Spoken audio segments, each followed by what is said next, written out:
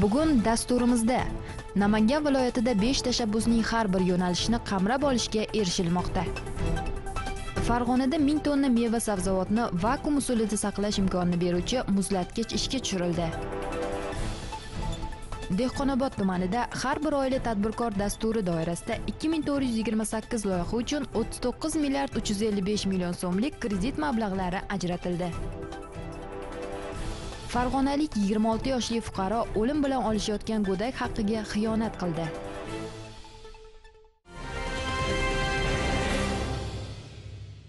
Namangan shahridagi yuksalish mahallasi. Bugun nomiga munosib ravishda chin ma'noda yuksalishga bo'y tutgan hudud yil sayin ortib borayotgan ko'p qavatli uylari ijtimoiy obyektlari tadbirkorlik subyektlari bilan mashhurlik qozonmoqda. Bundan qariyb 40 yil avval viloyat markazining shimoliy g'arbidagi bepoyon adirliklari bag'rida barpo bo'lgan bu mahalla dastlab kosonsoy tumani tasarrufida edi namangan shahriga qo'shilganiga 14 yildan oshiqroq vaqt o'tgan bo'lsa-da e'tibordan chetda qarovsiz qoldi. Obod mahalla dasturi aynan shu joydan boshlangani ham bejiz emas. Ta'kidlash joizki o'tgan yili dastur ijrosiga kirishilgach mahalla hayotida tarixiy o'zgarishlar yuz bera boshladi. Natijada bugun hamma havas qiladigan yuksalish paydo bo'ldi. Shahardan uzoqligi sababli bu yerda e, ayollarimizga fuqarolarimizga ishlar yo'q edi. Shaharga qatnab ishlash uchun judayam qiyinchiliklar bo'lardi. Mana prezidentimizning beshta muhim tashabbuslari e, ishlab chiqilgandan so'ng Э, bizning mahallamizga juda katta e'tibor bo'ldi. Maktabimiz e, to'la ta'mirga tushdi. Shunaqangi chiroyli qilib ta'mirlab berib yoshlarga o'quvchilarga hamda o'qituvchilarga sharoitlar katta yaratildi. Undan tashqari mahalla binolarimiz ta'mirlandi. Ko'p qavatli uylarimiz fasadlari yo'laklari juda chiroyli qilib ta'mirlab berildi. Eng bizga asosiy kerakligi ish o'rinlari yaratildi. Yetmish to'rt nafar tadbirkorlarga E, ish e, yerlar berildi. Tadbirkorlarimiz hozir juda ko'p e, sexlarni qurilishmoqchi. Ayniqsa ayollar uchun ish o'rinlari yaratilmoqda.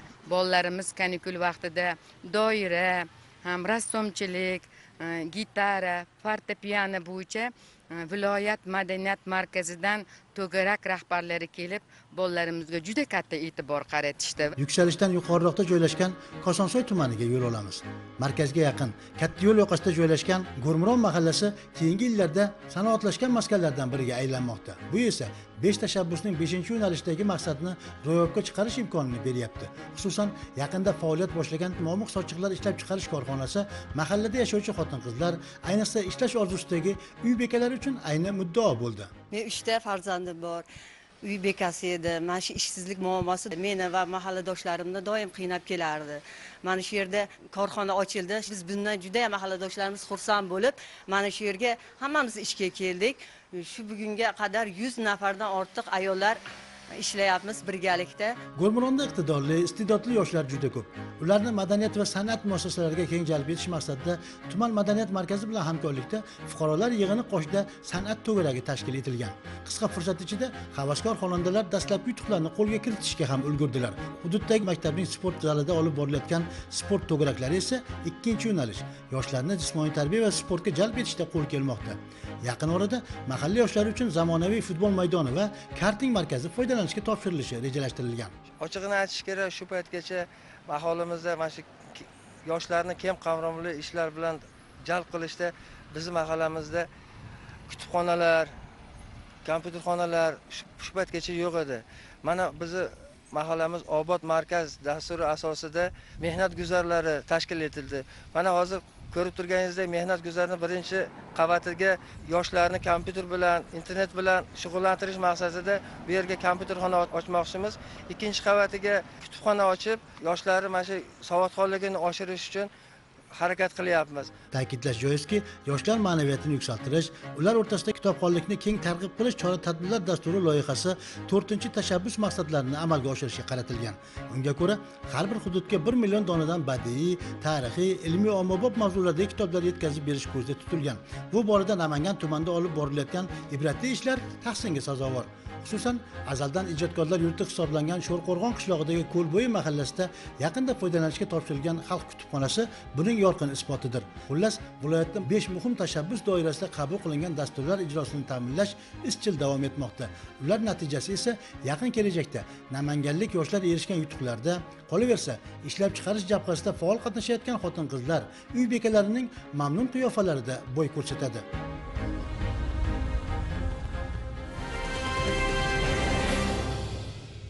Farg'ona viloyatining qo'shtepa tumanida to'yga to'yona deganlardek mustaqilligimizning yigirma sakkiz yilgi bayrami kunlari ishlab chiqarish korxonalari ijtimoiy obyektlar o'z faoliyatini boshladi.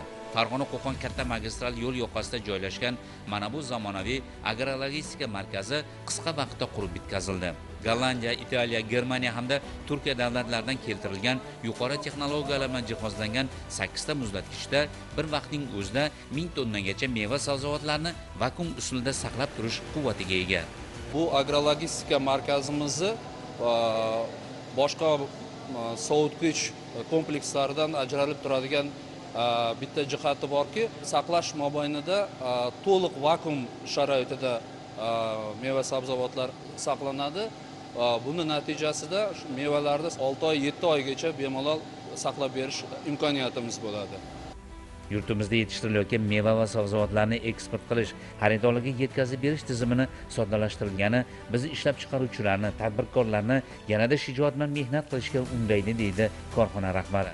Viloyatimizda yetishtirilgan meva sabzavot mahsulotlarini keng ko'lamda saqlash ular sifatli saqlab xorijiy bozorlarga eksport qilib shug'ullanamiz mana bugungi kunda ikki million dollarlik eksport shartnomalarni imzolashga erishdik. Qo'shimcha yangi ishlarni yaratish bilan bir qatorda yangi sexlar ochmoqchimiz. Tumanimizdagi fermer xo'jaliklari bilan shartnoma tuzgan holda ularda yetishtirilgan meva sabzavot mahsulotlarini sotib olish bilan shug'ullanyapmiz korxona ixtiyoriga qo'shimcha 13 gektar yer maydonlari ham ajratildi. Yer maydonida serhosil uzum namlari yetishtiriladi. Bu bilan qo'shimcha ish o'rinlarini yaratish imkonini ham beradi. Shu bilan birga kelajakda korxona agroklasterini rivojlantirishni maqsad qilgan. Bu esa tumanda qishloq xo'jaligi va oziq ovqat tarmog'ini raqobatbardoshligini rivojlantirish natijada agrosanoatning barqaror o'sish imkoniyati yaratiladi. Farg'ona vodiysida meyvalarin çok olmasından dolayı farg'ona viloyatiga olib kelingan zamonaviy muzlatgichlar yuqori texnologik quvvatga ega. Bir vaqtning o'zida bu yerda saqlash qayta ishlash uchun qulay sharoit bor. O'zbekiston yerlarida yetishtirilayotgan mevalar jahon bozorida xaridorgir ayniqsa farg'ona bog'laridagi mevalar o'zgacha. Ma'lumki qishloq xo'jaligi mahsulotlarini ishlab chiqarish qayta ishlash va sotish jarayonlarini yagona zanjirga birlashtirish va yuqori texnologik innovatsiyalardan foydalanish orqali qishloq xo'jaligi mahsulotlarini ichki va tashqi bozorda raqobatbardoshligini oshiradi. Sıfatlı meyveleri korxona faoliyat boshlashi bilan bu yerda qo'shimcha ish o'rinlari yaratildi. Muzlatgichlar kompyuter orqali boshqariladi. Bugungi kunda loyiha ishlarini boshlab yuborganmiz. Yana qo'shimcha xuddi shunaqa e, sakkiz yuz tonnalik e, sig'imga ega bo'lgan e, muzlatgich kompleksini qurish rejalarimiz bor. Mahsulot sotishga keladigan bo'lsak hozir mahsulotlar birinchi partiyasini qabul qilib oldik. Yevropani germaniya davlati bilan shartnoma imzoladik. Polsha davlati bilan hozir shartnoma imzolash etapida turibmiz. Shu kunlarda uzumlar tokdan qanday uzilgan bo'lsa shundagicha yevropa bozorlariga yetib boradi. Bu esa xaridorlarni mavsumdan tashqari paytlarda meva sabzavot mahsulotlari bilan ta'minlashga erishiladi. Beshta ezgu tashabbus bo'yicha dasturlar yoshlar va xotin qizlar manfaatlarini himoya qilishga qaratilganligi bilan ahamiyatlidir. Beshinchi tashabbus dastur loyihasidan 2019-2020 yillarda har bir tumanda yengil konstruksiyali tikuv tirkatash korxonalarini qurish va ayollarni band etish masalalari o'rin olgan. Qo'shtepa tumani qorajiyda qishlog'ida bunyod etilgan qorajiyda tikuv sexining qisqa fursatlarda qurilib foydalanishga topshirilishi hududlarda tikuv tirkatash mahsulotlari ishlab chiqarishni tashkil etish va xotin qizlar bandligini ta'minlashga doir chora tadbirlar loyihasining amaliy ifodasidir. Zamonaviy e, mashinkalar o'rnatdik. Hozirda e, shu ayollarimizni ikki smenali qilib ish bilan ta'minlamoqchimiz. Hali e, mashinkaga o'tirmagan qizlarimiz bor. Ularni ham ishga oldik chunki o'zimiz o'rgatyapmiz. Sexining ochilish marosimi keng jamoatchilik ishtirokida o'tkazildi. Unda so'z olganlar qo'shtepaliklarni ushbu mo'jazgina yangi korxonaning ochilishi bilan samimiy qutladi va jamoaning kelgusi faoliyatiga omadlar tiladilar. Qorajiyda qishlog'ida barpo etilgan bu tikuv tirkatash sexi ishga tushirilishi bilan 300 ta yangi ish o'rinlari yaratildi. Zuhra xoliq va mohir tikuvchi yaqin o'n yildirki mazkur hunar turi bilan shug'ullanib keladi. Shu paytga qadar ijarama ijara yurgan tadbirkor uchun har bir oila tadbirkor dasturi doirasida yaratilgan imkoniyatlar nihoyatda qo'l keldi. Imtiyozli kredit olindi zarur uskuna va anjomlar xarid qilindi. Bugun esa dehqonobod tumani istiqlol mahalla fuqarolar yig'ini hududida ilhomjon pardalar saloni faoliyat yuritmoqda. Muhimi o'z ish o'rnimiz bor. Mazkur dastur biz kabi ishni ko'zini topish istagida bo'lgan qilganlar uchun rag'bat bo'ldi deydi qo'li gul tikuvchi. Ayni kunda mahallaning olti nafar xotin qizi ish bilan ta'minlangan. Xursand bo'lasiz rohatlanasiz. Mana aholiga parda tikasiz uyiga olib borib ilasizda. Shunday chiroyli ilganingizdan keyin o'sha inson shunday mamnun bo'lganda hamma charchog'iz chiqib ketadi. Yana bitta jihati biz sexda qizlarimizga hunar o'rgatyapmiz. Qancha qizlar bizlar qo'limizda o'qib hunarli bo'lib borgan joylarida chiroyli pardalar bilan insonlarni ko'zlarini qamashtirishyapti. Har bir oila tadbirkor dasturi asosida imtiyozli kredit olgan yana bir tadbirkor qunduz abrahmatovadir u o'n million so'm imtiyozli kredit olgan edi. Faoliyat kengaytirildi yangi ish o'rinlari yaratildi. Muhimi mahalla xotin qizlari mato ko'tarib qo'shni mahallaga yurishmaydi. Bejirim tikilgan liboslar buyurtmachilarning talabiga mos kelmoqda. Davlatimiz tomonidan ajratilgan imtiyozli kredit mablag'lari tashabbuskor loyihalar uchun muhim bo'lmoqda. Ayni kunda mazkur tikuvchilik sexida qizlarni hunarga o'rgatish kursi ham ishlab turibdi. Qizlarni oilaga tayyorlash ularni hunarga yo'naltirishda bu ko'zlanganidek bo'layapti. Ikki ming o'n sakkizinchi yil o'n million kredit oldim. O'n million kreditga e, zamonaviy uslubdagi mashinkalarni berishdilar. Qo'l mashinkalarda ishlar edik mana bizlarga imkoniyat berib qo'yibdi. Mana qisqa qisqa bo'lib bo'lib berib turibmiz. Bu kabi tashabbuskorlarning soni tumanda kunda kunora ortmoqda. Kam ta'minlangan ehtiyojmand oila vakillarini tadbirkorlikka jalb etish oilaviy tadbirkorlikni rivojlantirish hamda aholining daromadlarini oshirish ishi doimiy e'tiborda. Tumanda har bir oila tadbirkor dasturi doirasida ikki ming to'rt yuz yigirma sakkiz loyiha uchun o'ttiz to'qqiz milliard uch yuz ellik besh million so'mlik kredit mablag'i ajratildi. O'z ish faoliyatini samarali yo'lga qo'ygan bir ming o'n besh xonadon kam ta'minlanganlik ro'yxatidan chiqarildi. Mazkur issiqxonada ayni kunda limon ko'chatlari parvarish qilinmoqda. Dehqonobod tumani iqlim jihatdan e'tibor talab bo'lganligi hududda suv tanqisligi sezilganligi bois bankdan olingan imtiyozli kredit mablag'i hisobiga tomchilab sug'orish tizimi yo'lga qo'yildi.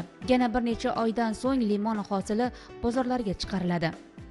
bir ming o'n beshta aholiga uch milliard to'qqiz yuz yigirma to'rt million so'm mm, kredit ajratildi. Chorvachilik bog'dorchilik endi parrandachilik e, shu yo'nalishlari e, ko'proq aholini qiziqishlari. Endi tikuvchiligimiz ham bor bularni orasida issiqxonalarimiz tashkil qilindi. Bu kabi intilish hamda tashabbuskorlikni qo'llab quvvatlash va rag'batlantirish borasida tuman moliya bo'limi bank mutasaddilari hamda hamkor tashkilotlar vakillari tomonidan targ'ibot tashviqot ishlari olib borilmoqda. Muhim jihati har bir oila tadbirkor dasturining samarali izchil tatbiq etilayotgani hududlar infratuzilmasini rivojlantirishning asosi bo'lmoqda. Navoiylik nigora po'latova og'ir xastalikka chalingan farzandini davolatish maqsadida saxovatli insonlar ko'magiga umid qilib bankda hisob raqami ochtirgan edi. Internet tarmog'i orqali bundan xabar topgan farg'onalik shaxs aldov yo'li bilan mazkur hisob raqamida yig'ilgan mablag'larni o'zlashtirib oldi. Farg'ona shahrida yashovchi fuqaro internet tarmog'idan foydalanib oson yo'llar bilan boylik orttirish maqsadida navoiy shahrida yashovchi e, fuqaro po'latova bilan telefon orqali bog'lanib unga internet tarmog'ida bergan e'loni bilan tanishganligini plastik kartasiga pul mablag'lari ko'chirib bermoqchiligini aytib uning ishonchiga kirish orqali po'latovaga tegishli plastik karta raqamlari va sir saqlanishi lozim bo'lgan kodlarni olishga erishgan. Natijada uspaynet to'lov tizimidan foydalanib po'latovaga tegishli plastik kartada bo'lgan olti million to'qson ming so'm miqdordagi pul mablag'larini yechib olishga erishgan. Pul tashlamoqchi edim. Desam keyin ular mayli rahmat bunaqa bunaqa deb turishuvdi keyin man aytdim shunaqa kod bor dedim mayli deyishdi keyin man kodni jo'natdim ular kodni aytishdi keyin man plastik kartalarga ulanib yechdim joriy yilda oliy ta'lim muassasalariga o'qishga kirish imtihonlari har qachongidanda adolatli va shaffof o'tganini ko'pchilik ta'kidlamoqda. Biroq guruch kurmaksiz bo'lmaganidek odamlar ishonchiga kirib farzandingizni o'qishga kiritib qo'yaman deya aldab mo'may daromad orttirishni ko'zlaganlar ham yo'q emas. Navoiy viloyatining uchquduq tumanida yashovchi shaxs ana shunday jinoyatga qo'l urdi. Telefon qildilar. Shunaqa shunaqa shunaqa o'qishga bering iltimos man aytdim ho'p o'ylab ko'ramiz. Kim dedim? Jiyanim keyin shu telefon bo'ldi bir kun man aytdim texnika universitetiga kirgizib beraman besh ming aqsh dollar bo'ladi boshidan uch mingni berasiz ho'p dedi. Keyin shu oradan o'n sakkizinchida man uyga keldim. Bu dejalovni uyga keldim. U bola keldi. Uch ming aqsh dollarni shu keldi bacha bilan gaplashdik uch ming aqsh dollarni oldimda o'sha vaqtni o'ziga departamentim olib ketdi o'zaniga qilgan ishimga pushaymonman yoshlik qilib qo'ydim. Ayni paytda har ikkala holat yuzasidan gumonlanuvchi shaxslarga nisbatan jinoyat ishi qo'zg'atilib tergov surishtiruv ishlari olib borilmoqda.